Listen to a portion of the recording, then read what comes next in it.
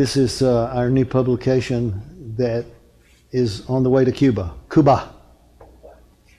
And um, para la venta means not for sale.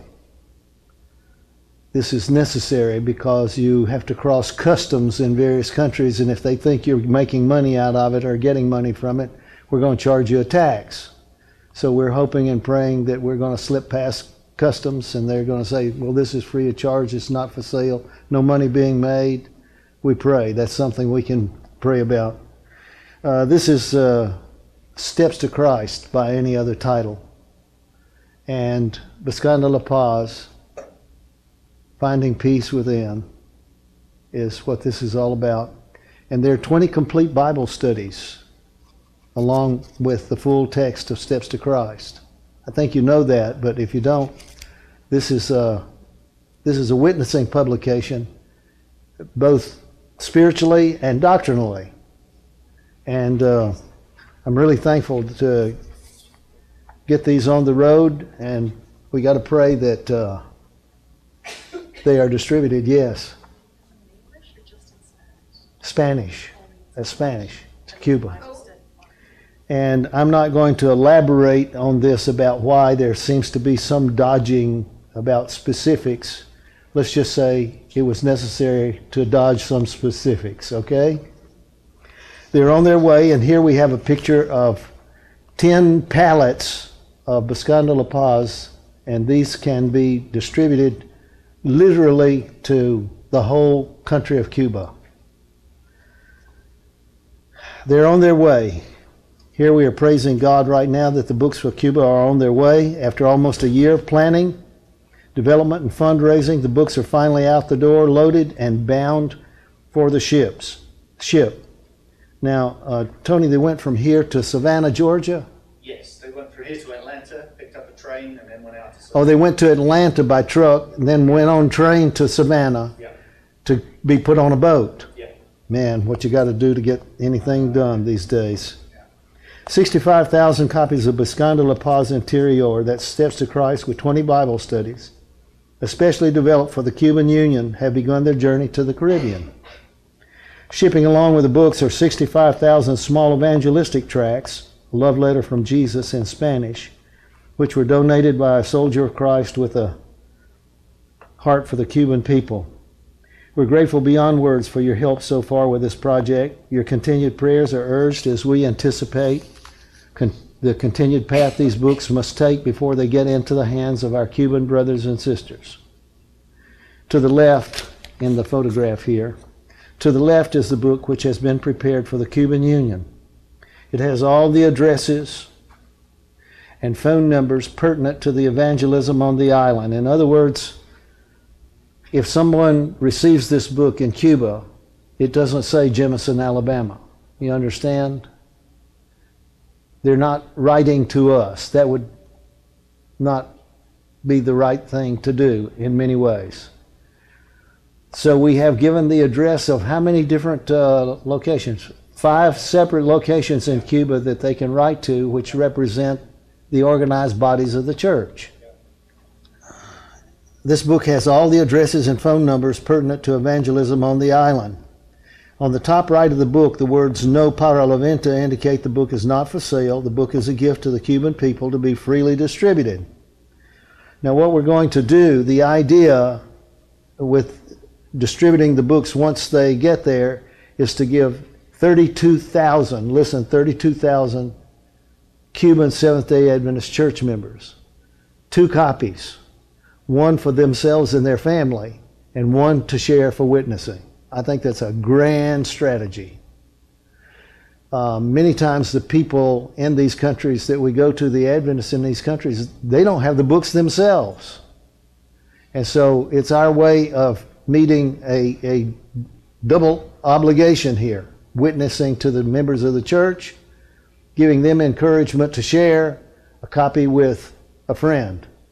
And these 32,000 Adventist Christians are scattered all over Cuba, aren't they? Yeah, totally where we are. Ah, wonderful, wonderful. To be given to the Cuban people to be freely distributed. Once the books get on the ground, they must go through the regular process of clearing customs and being delivered to the Union facility in, facility in Havana. We're not sure exactly how these books will be treated by Cuban customs. The books are a gift, so shouldn't be subject to taxes or duties. But when you get to poor countries, they like to tax. Okay? We hope that's not the case, and God will help us get through without having to raise more funds.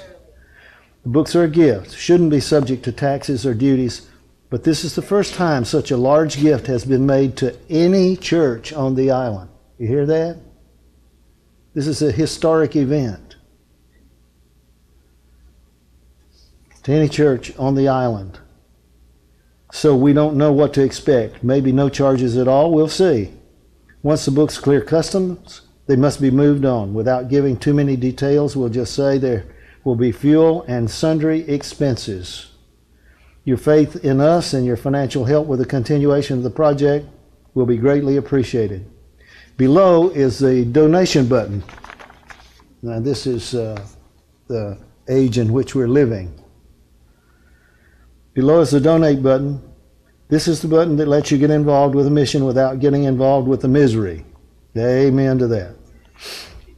Those of you who have sacrificed your time and energy in a cause far from home, in a part of the planet without the luxuries of home, will appreciate the donate button Cuba is such a place without any of those luxuries. Thank you for your continued prayers and support. Keep it up. Now, this is going out by email, and is it going out by mail? Mail. Uh, email so far. Okay. Would do any harm to your This is a miracle in the making. It's been making for a year already. And I'm just praying the next 30 to 60 days we'll see these arrive and get out and start going. You need to pray that too. There are always obstacles. If you have been in the Lord's work at all, there are always obstacles. There's a group of bad guys who are working behind the scenes to always obstruct the way. And uh, prayer is what keeps us going.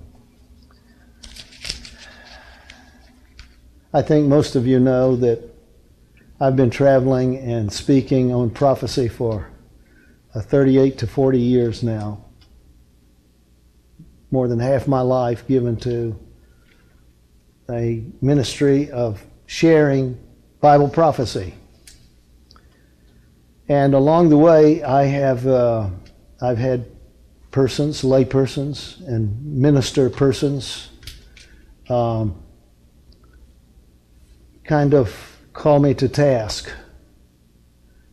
And uh, say things like, uh, Why don't you preach Jesus? as though what you're sharing has nothing to do with the good news of Jesus. Um, you never preach on the cross. You, well, anyhow, I want to get some response from you, not about me, but ask you if you understand that in the list of gifts of the Holy Spirit that are given to us in the New Testament, one of those is the sharing or the giving or the interest in Bible prophecy. Do you understand that this can be a gift of the Spirit? And so I would wonder if you could understand. Here, here, here I put it. I wonder if you could understand and appreciate a simple paragraph here that was written 150 years ago It's from the pen of Ellen White, 150 years ago. She wrote it as though it were taking place in her day, but 150 years ago. Her day has come and gone. A storm is coming, relentless in its fury, thinking men and women, thinking persons, have their attention fixed upon the events taking place about us.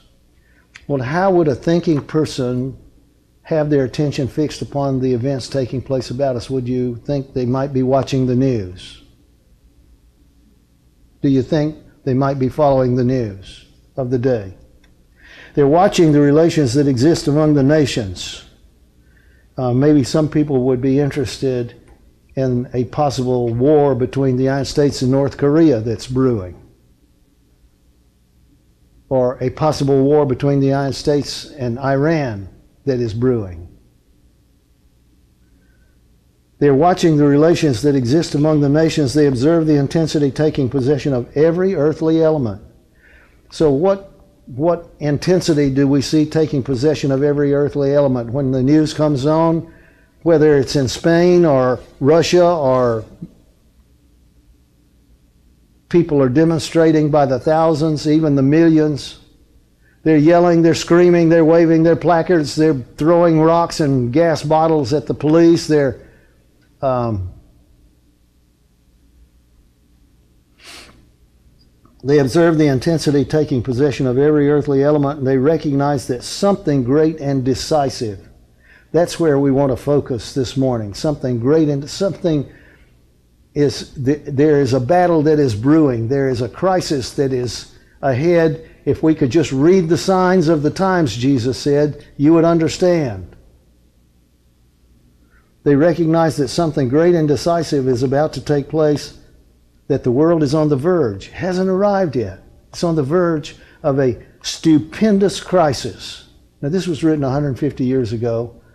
That word stupendous was not used very often 150 years ago. On the verge of a stupendous crisis. What, what would you what would you think, what picture would a stupendous crisis bring to mind? Is that a natural disaster? Could be. I mean, we've just evidenced one hurricane and another hurricane and another hurricane, and it looks like the fourth one is brewing now, and they're all aiming for the same part of the world. Is this unusual? Is this? Yes, it is. It's so unusual. The weather people and the historians are saying, This is unusual. We've not seen anything line up this way. Now, if you don't understand what a hurricane means, if it just passes over you and passes through your area where you live one time, it's going to weaken. Some places it's going to blow to pieces, some places it's going to weaken. But then two or three weeks later, here comes another hurricane following exactly the same course. And all those buildings and all those houses and all those, all those that were weakened the first time, what happens the second time around? Especially when you are the bullseye. So what are they saying about Puerto Rico? Why don't, why don't we take a moment? What are they saying about Puerto Rico? How about a modern term like it's a shambles? It's torn to pieces. It was hit and then hit again by an even stronger storm. Now, these people are humble people. We've been to Puerto Rico several times. These are humble people. They don't live in $300,000 homes, most of them. They live in, you have to remember, they don't get snow and they don't get ice and they don't get frigid weather and they don't get, so they just put board or tin between themselves and the out of doors, and that's how, that's your house. Well, a hurricane just is a hurricane.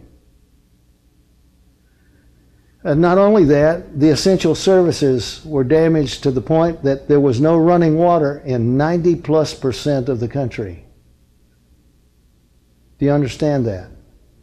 And as these people trying to follow up and get into these remote parts of Puerto Rico are getting there, they're finding people drinking sewage water because they don't have anything to burn a fire or stove and boil the water. And there's been two weeks and three weeks now, and they have to have water to drink, so they're drinking sewage water. Well, I don't, I don't want to belabor the point. But there is something unusual taking place. The whole world is watching what's taking place and saying.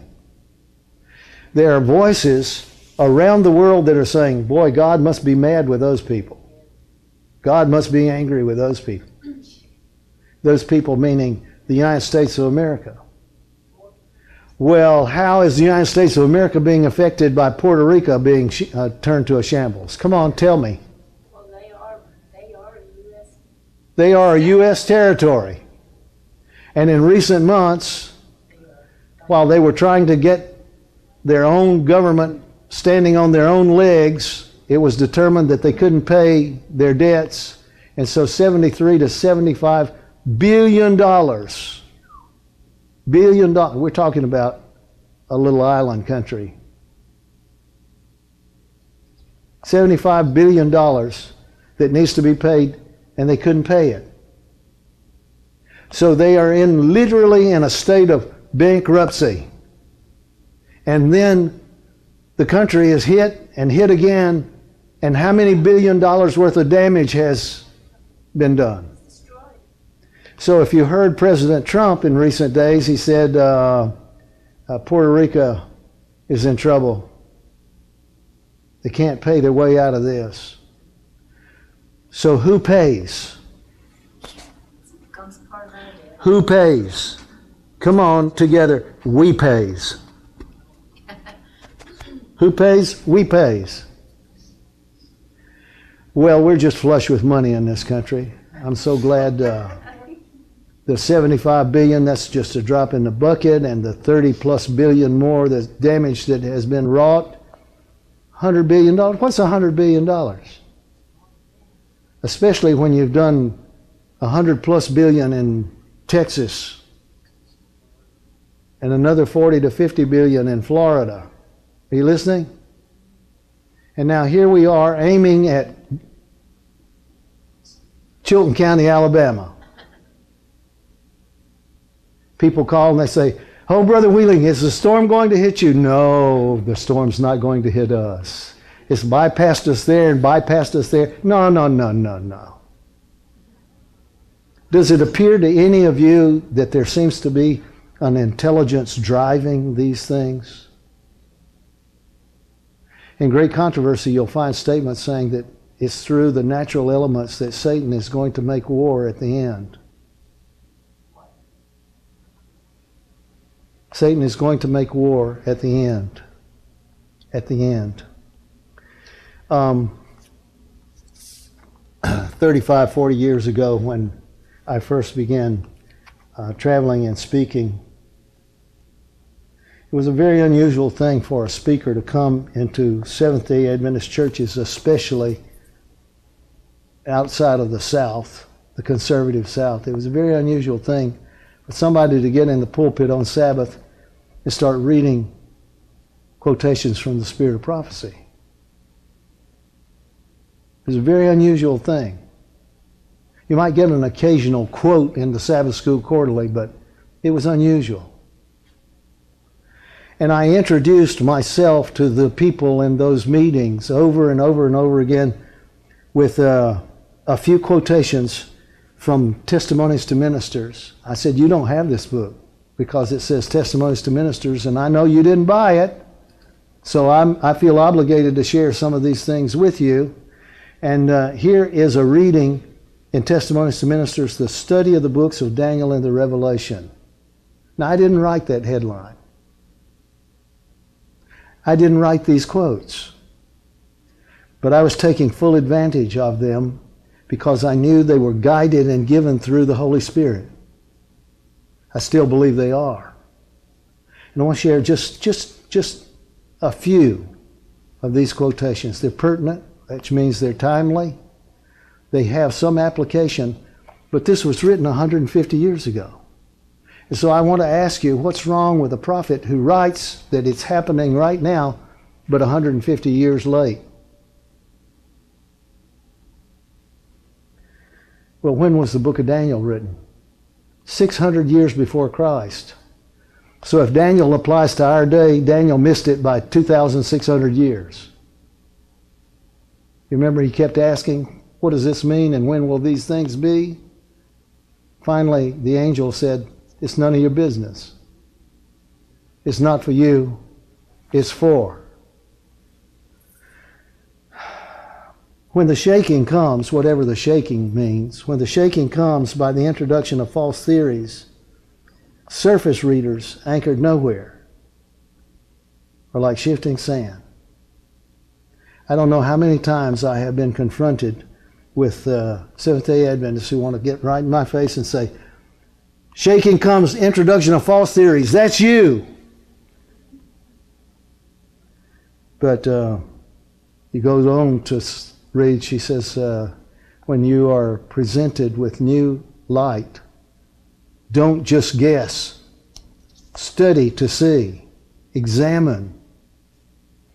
There's a need, a need of much closer study of the Word of God, especially should Daniel and the Revelation have attention as never before in the history of our work. Now, this is 150 years ago. Adventism was new, Adventism was young. Attention as never before in the history of our work. The light Daniel received from God was given especially when I when Tony puts this on the screen for me next time. We're going to take the word especially and we're going to especially for these last days. The visions he saw by the banks of the Ulai and the Hiddekel. The Ulai and the Hiddekel the great rivers of Shinar are now in process of fulfillment. And all the events foretold will soon come to pass. I have to take a moment right here to make this pertinent to you. We're between bodies of water here. Historically, this has been referred to as the land between the seas, right here. This is the Persian Gulf, very much in the news in the last 20, 30 years. And this is the easternmost extremity of the Mediterranean Sea you should recognize this little country state right here. It's about 50 miles wide at the widest point and 90 miles tall, and that's Israel. That's the Holy Land. That's the Bible land. That's where the Bible and Jesus and all of these events that we talk about and claim are inspired, this is where they originated, right here. Right here. This is Israel. Uh, this is, um,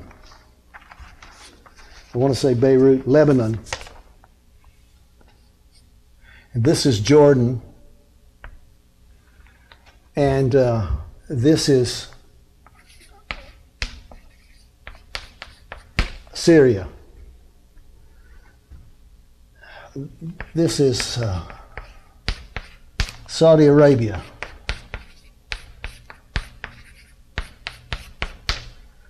I know you're perfectly familiar and acquainted with all of this geography, but uh,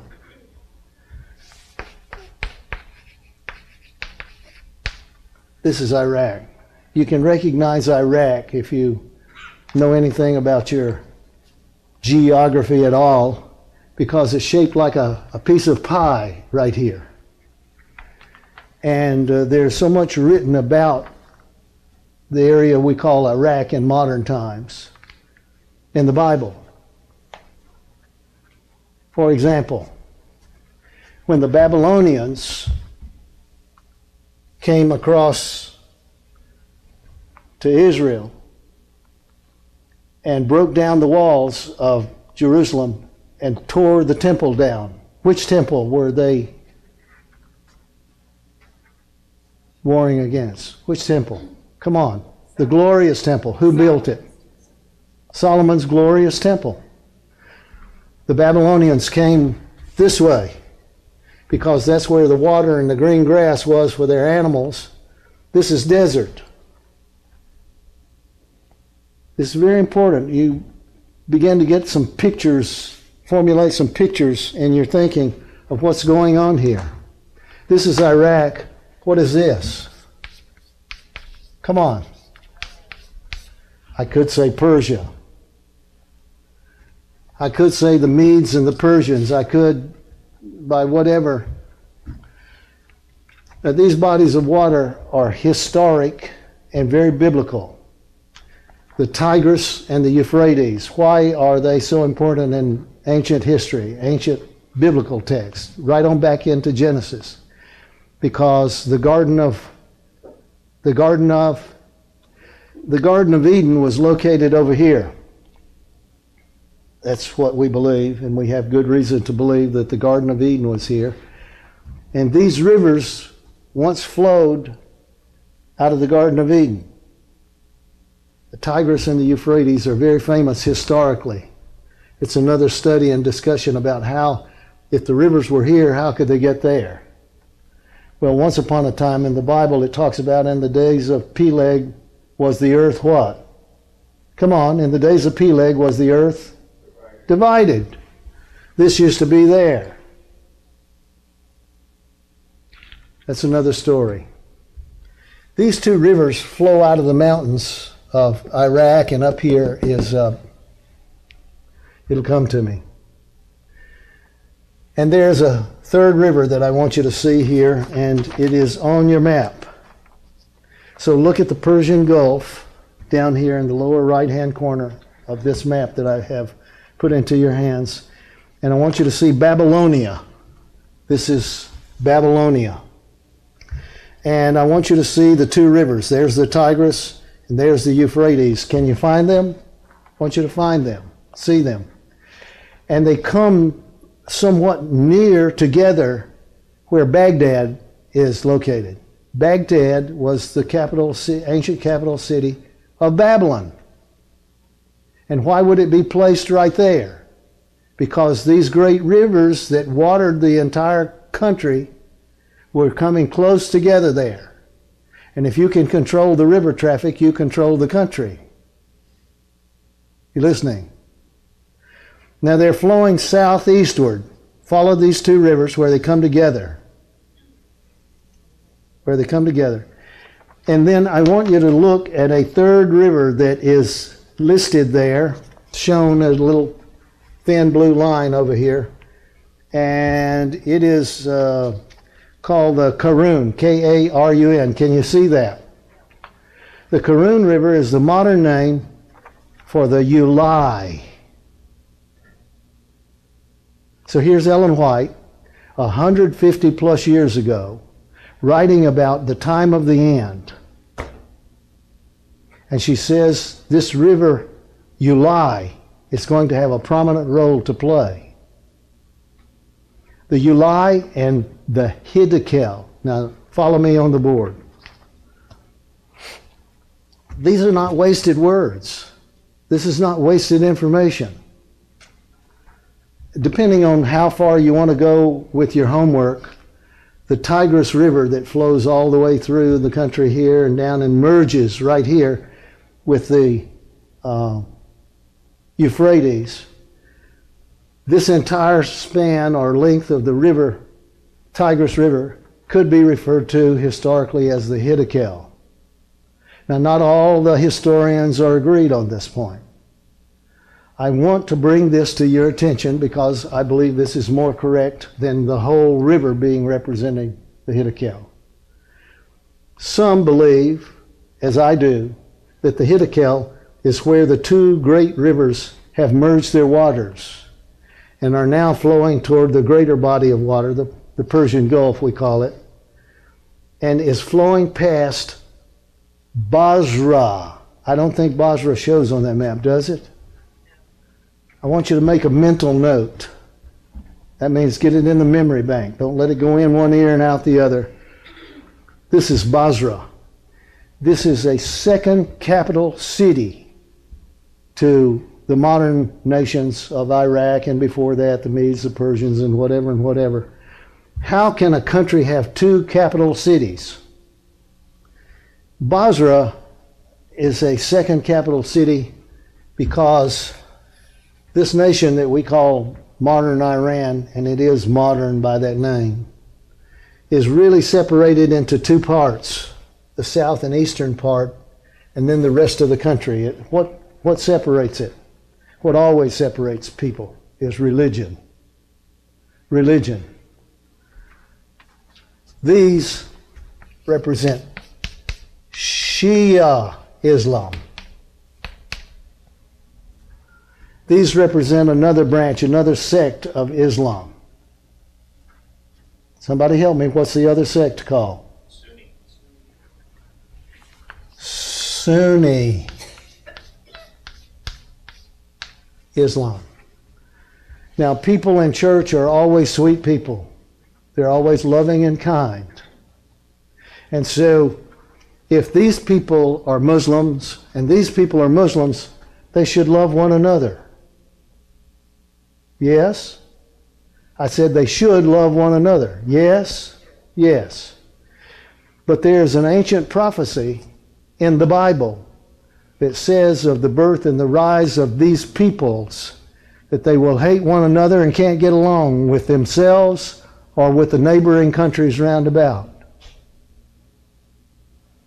And so these are historic hatreds.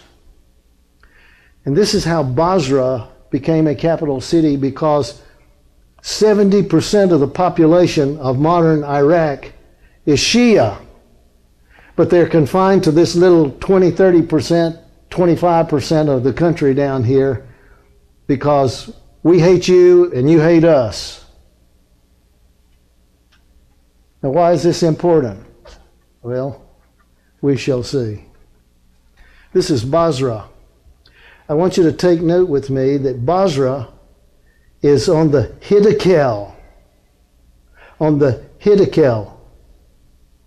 And it is slightly south of the merging waters of the Ulai. Or the Karun would be a modern name. The waters are merging. Now this is uh, this is about to become very important for you to understand a little bit about geography, know a whole lot about geography. If this were the strength of Shia, this was 80% of Shia and this was 20% of Shia, then the strength is always going to want to take the ascendancy, always want the upper hand. You listening? And so if you were over here and you wanted to take over this whole country right here and get rid of all of those folk that we don't like, uh, would you come across here with your armies?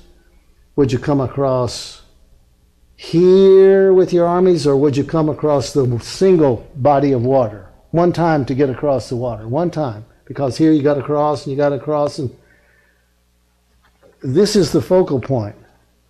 And by the way, this little lady with three grades of education, she hit it right 150 plus years ago. She said, when this time comes, the Ulai and the Hiddekel will become the focal point. I've tried to share that with thousands and thousands and thousands and thousands of Adventist Christians saying, you need to understand what is being said here. You don't know about the Ulai, you don't know about the Hiddekel, you need to find out. You need to understand that this is very much a part of the prophetic information, light from heaven, given for the last days. So I posed the question before what do you say to a person that says, uh, You're preaching about the Ulai and the Hiddekel? That has nothing to do with Jesus. How would you answer? That's how you answer. Say nothing. Either the Holy Spirit is going to find common ground in the thinking of people, or it has nothing to do with heaven. You can sit there and try and force feed people, but either they are open and receptive and willing to examine and question, or they're shut off, hard headed, hard, stone cold, hard headed. I've seen this for years and years and years. But I have also seen people come to more than one seminar. Oh, now that makes sense. Oh, now I see. Oh. See, light is progressive. That's how we can take Ellen White as a prophet 150 plus years ago, and she wrote about it, said, It's right now, it's right now. There's going to be a change in the circulating currency. This is for the last days. This is the work of the devil. This is. And so for 150 years, she's been mistaken. Are you listening? And people come to me, Well, Brother Wheeling, you talked about this 40 years ago. When's it going to happen? Maybe another 150 years. But maybe not another 150 years. We don't know. Jesus said, You don't know until you see the signs of the times. That's that quote we read here.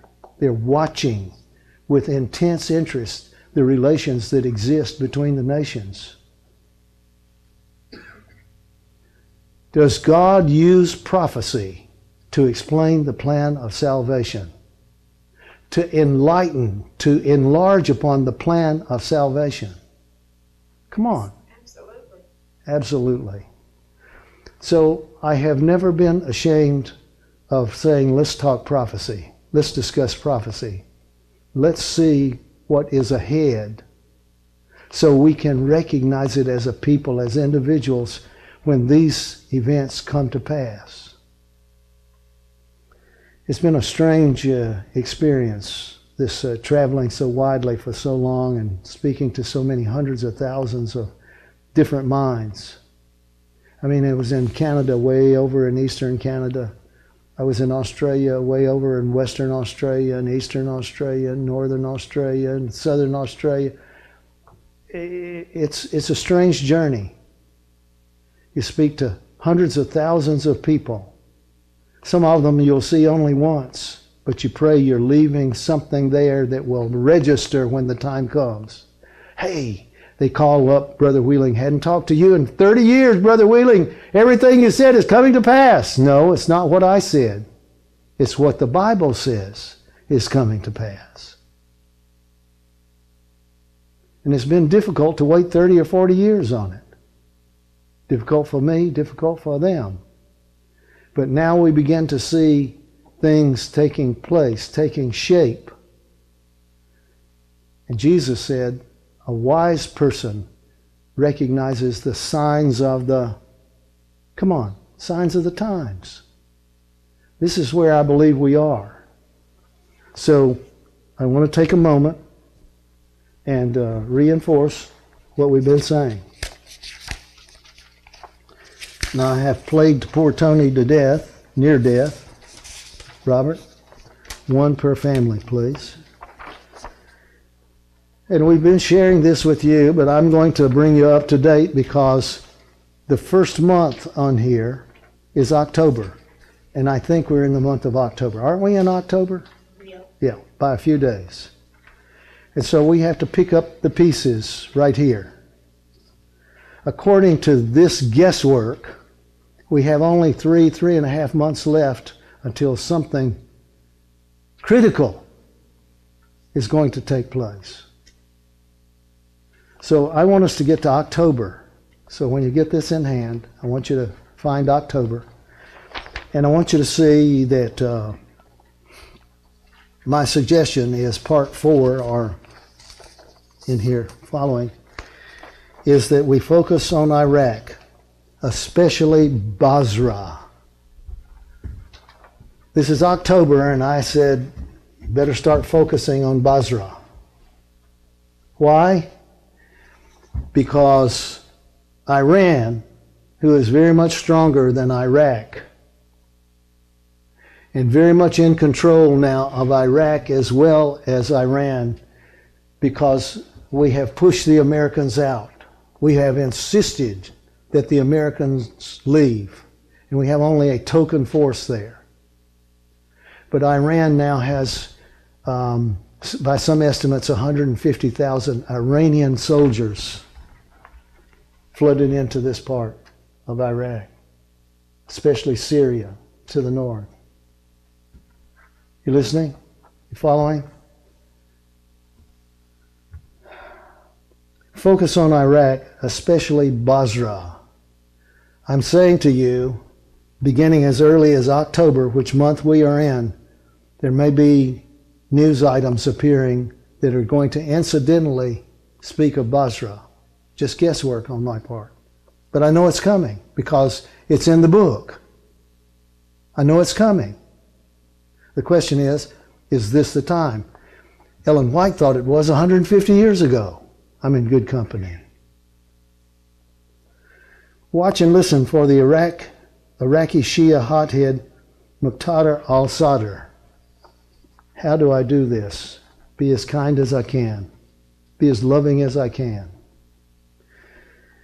About 1980 and thereabouts, the country of Iran was being seized and taken over by the religious element.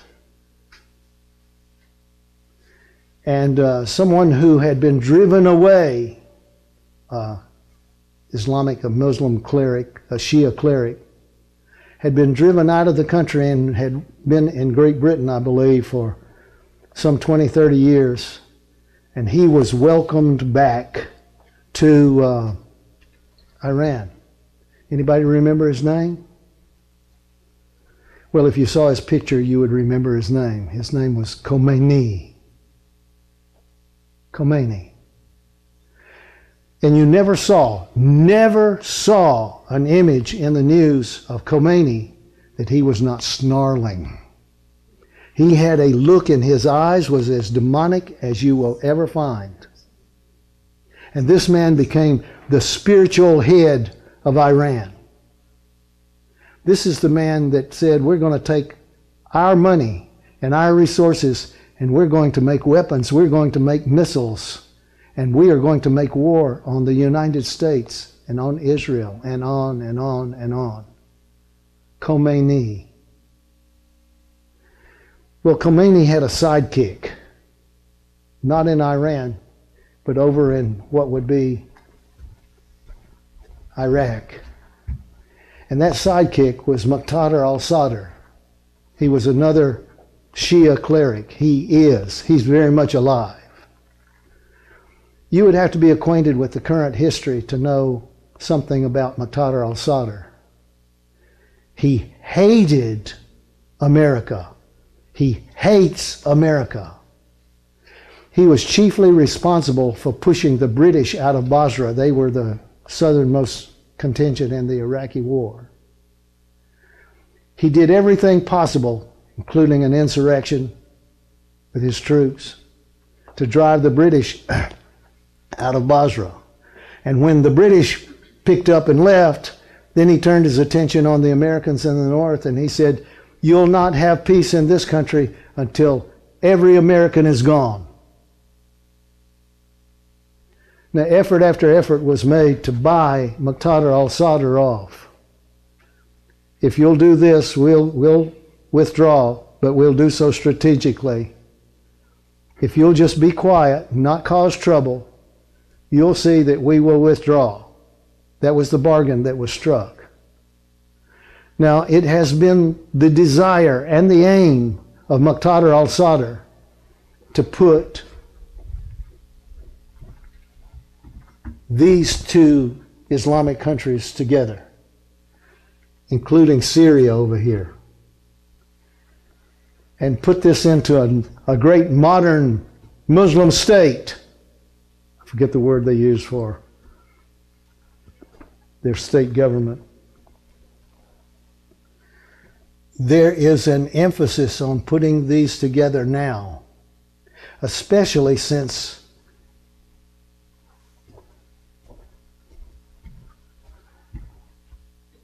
the Iraqi Sunni element. They were called ISIS. You listening? They were referred to as ISIS. They have been driven and bombed and beat back until this part of Iraq and Syria and Iran, they want to now merge into one country, one power, one government one religious element. And so I said for October, um, watch and listen for the Iraqi Shia uh, hothead Muqtada al Sadr to appear in the news. That's pure guesswork on my part, but I think it's time for him to break into the news again. We've still got two thirds of the month of October, and we're moving toward November somewhere in here, he's going to be very much in the news again. And then watch for an Iranian military invasion of Iraq crossing the Hiddekel. So I want to bring your attention again. The Hiddekel, if that's the entire river, Tigris River, or only partial, it doesn't matter. There's going to be an invasion. And I submit to you, the invasion is not going to come up here where they have to cross one body and one body and one body of water. They're going to come where they have to cross one body of water. And it will be at an appropriate time in their year when the waters are low. You listening? Now, this is where I want you to pay attention. I can thank uh, who wrote the book Daniel and Revelation? Uriah Smith. Uriah Smith. This is where I want to thank Uriah Smith for his homework. I had never seen it. It's important, it's sensitive information. Daniel received the vision beside the Ulai over here. I was at Shushan in the palace in the province of Elam. And a vision appeared in the night to me, filled my mind. And I saw above the waters of the river a goat pushing. Actually, it says a ram pushing. And a goat from the west came and so Daniel sees in chapter 7 of the book of Daniel, Daniel sees this dream, this vision. And he says, I saw, but I didn't understand what it meant. So I said, Oh Lord, what does all of this mean? Now, about verse 7 and onward in chapter 7 of Daniel, a pronouncement is made in heaven. Instruction is given to the angel Gabriel. That ought to cause your ears to perk up. Gabriel. And the words were these the command was this Gabriel, make this man to understand the vision. He's gotten this information. What does it mean? What is why am I being waked up in the night and watching all of this and two animals locking horns? What what does all of this mean? Gabriel, make this man to understand the vision. Now about verse 15 through 16 and 17 of chapter 7, this is what Gabriel says to Daniel. Are you listening? Understand, O son of man, that's Daniel. Understand this vision is at the time of the end. So, whatever the ram and the he goat are all about, they have a belonging to the time of the end. I'm over here at Shushan in the palace, but I saw the man, Gabriel, who appeared to me in vision. And where was Gabriel standing in the vision? at the widening of the Ulai. Now, if you look at a aerial photograph or a satellite image of the great Mississippi River or any other great river on the on the planet, you can trace it back. Well, there's just a spring up there in Minnesota or whatever, and it starts and it picks up more streams of water and more. Next thing you know, we have the great Mississippi River, one of the largest rivers on the planet. The Mississippi River flows the entire north to south part of our country. And it gets to Louisiana, world famous Louisiana, Robert. Right down there where you used to live. Yeah. The Mississippi River flows down, but when it gets to the area beginning around uh, um, New Orleans, but a little further north. That other, the Atchafalaya breaks off up there, doesn't it? It begins slowing. The waters are flowing quickly. They're moving. They're pushing thousands and even hundreds of thousands of tons of mud a day down the river. It's called the Great Muddy.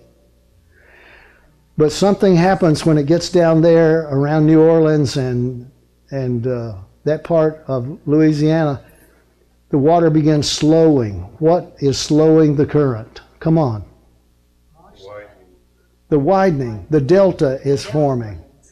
And the water, instead of flowing in one great river, has to break out into all these branches and tributaries and slows it down and pours its mud and pours and pours. And when it fills that one up, it moves over here and makes another one, a rivulet.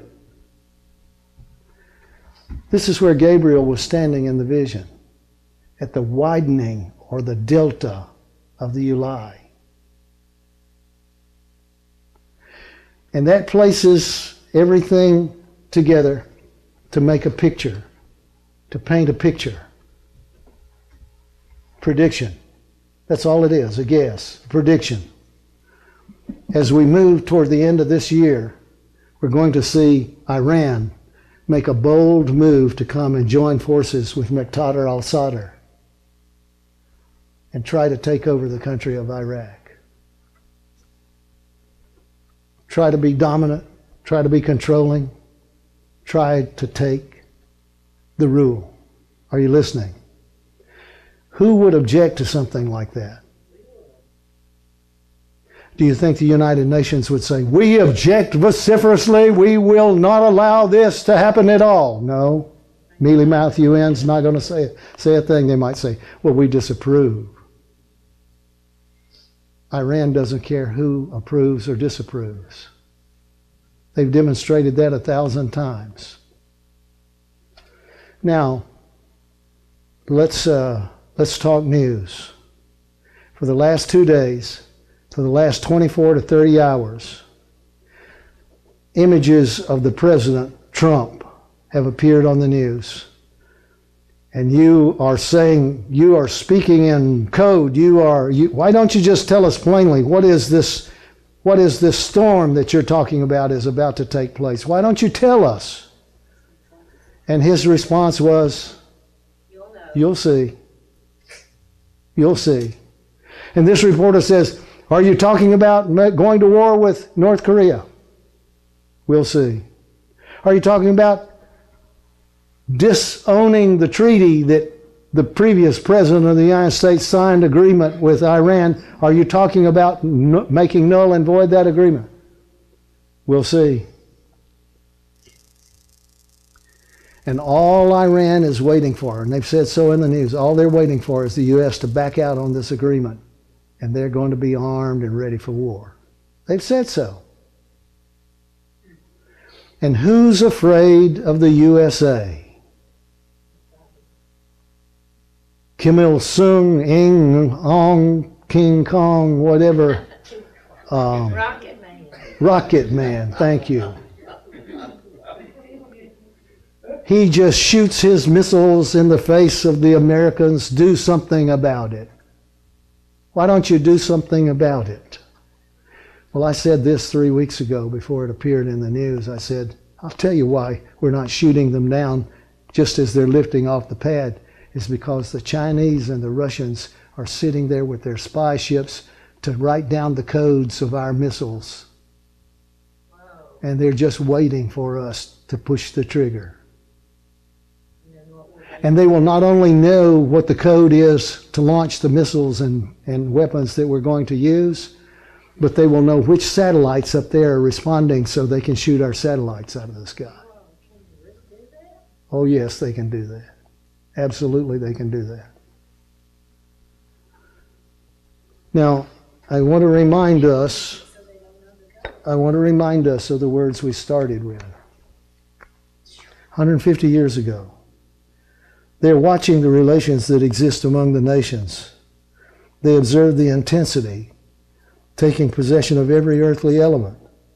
They recognize that something great and decisive is about to take place, that the world is on the verge of a stupendous crisis. So I'm going to share this and we're going to close. So we're opening with October and November and we're moving toward December. So this is pure guesswork on my part. I have a timeline that's not guesswork. It's in Daniel chapter 4, 12 months. From this time to that time, 12 months. And on the day of the 12th month, he's going to say, Is not this great America that I have built? You understand what's going on here? because the context of the dream and the vision is at the time of the end. It says so.